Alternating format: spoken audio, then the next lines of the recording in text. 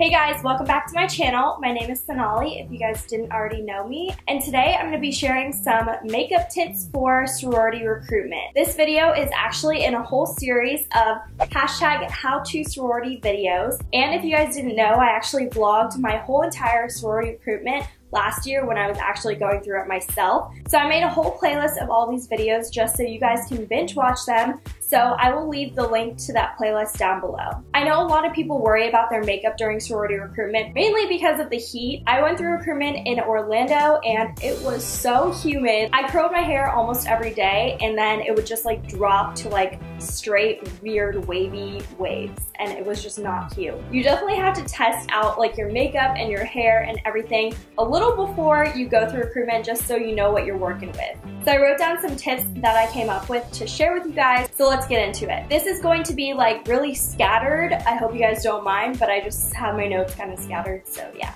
Okay, you guys do not have to purchase all these makeup products that I'm mentioning. You can always find dupes on Pinterest or just get other products that are similar, but I'm going to recommend some products and they might be a little pricier. So if you're looking to get new makeup, this is the perfect time to splurge on some really good products that you can use throughout college. My first one is to use setting spray. You don't have to use the Urban Decay one because that is a little pricier, but there are drugstore ones. NYX has one, and I recommend getting the matte one. Next, I really recommend you guys trying out the Laura Mercier translucent powder. I talk about it in like almost all of my makeup videos. It's what I bake with. And honestly, last week I went biking with like makeup because I was in like a really cool area and I wanted to take some pictures. And I baked that day with the translucent powder and I was like sweating all over but my face, like, it looked so matte. If you feel it, it's gonna feel like kind of like that silk powder type feeling. It just like feels so smooth and like perfect and it gives you a flawless finish. I did hear that the RCM one was a really good dupe for it. I have not tried it out myself, which I am planning on getting that one after this Laura Mercier powder runs out. So for eyeshadow, I really only recommend doing a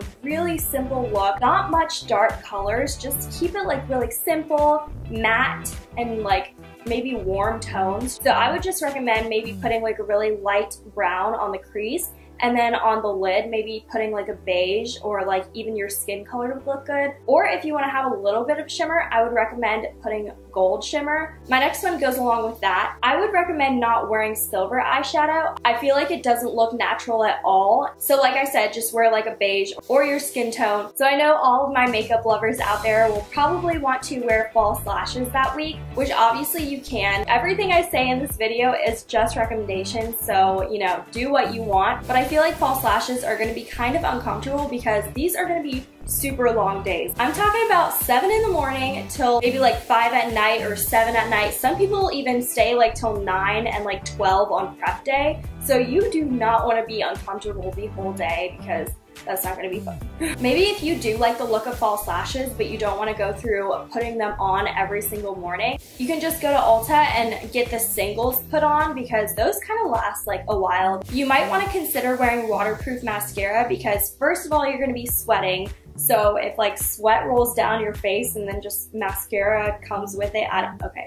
I don't know. That could be dramatic. But in the summer, Orlando rains like almost every day. So I did not want to like walk through the rain and like have my mascara dripping down my face walking into the next house. So check the weather and if it is going to be raining or if it's very humid outside. Next, I kind of want to talk about eyebrows. Everyone has their awkward stages of eyebrows. Hopefully I'm past mine, but sometimes I still have bad eyebrow days. So first of all, I recommend getting them done before recruitment. Sometimes I see eyebrows that are really boxy on the front. A little trick is to make the ends darker and then just start doing light strokes in the front. So it won't look boxy and it will look really natural. I actually started using dip brow on the ends and brow wiz in the front and it really helps me achieve that perfect brow. If you guys want an updated brow routine, let me know in the comments down below because it's kind of the same but I do want to share with you guys some new tricks that I learned. Next, I would carry around like a refreshing face mist. I use the Shiseido Quick Fix Mist. I really feel like I mentioned this product in like almost every one of my videos lately. Right before you go into a house, you can just spray it on,